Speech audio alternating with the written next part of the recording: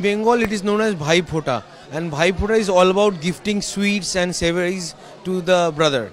The sister will give to the brother, and brother will in return gift uh, will uh, gift a give some gifts like gold or ornaments or anything such like that. But the sister has to uh, complete the Bhai with sweets. So this is a big occasion for us, for any sweet shop owners. We uh, we look for this day and we uh, make different kind of uh, new sweets for this day. Like we have started Nolen Gur souffle yesterday uh, for this occasion and we make thalis. Uh, thalis, uh, ready-made thalis that you can take away uh, with five kind of sweets or seven kind of sweets.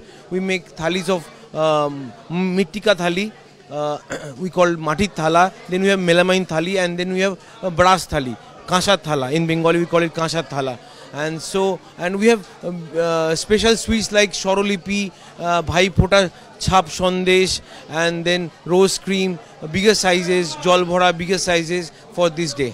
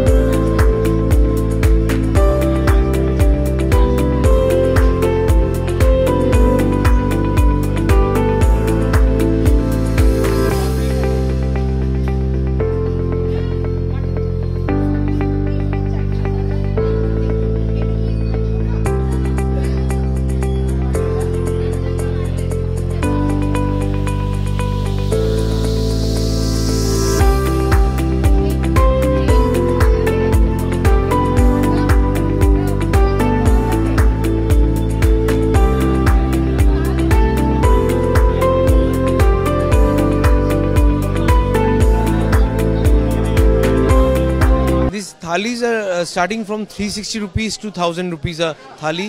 Uh, it depends on the what mithai you have taken in the thali, uh, and these are ready made and you can just take it away.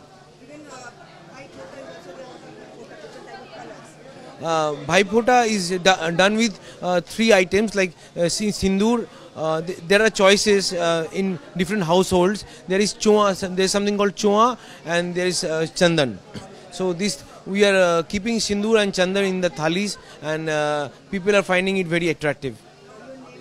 My name is Sudeep Mullik uh, from Balaram Mullick.